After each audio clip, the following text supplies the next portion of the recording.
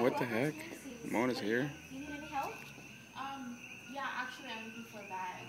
Um, one of these, well, they look all cute and stuff like that, but this one in particular, I like. I'm sorry, what was that?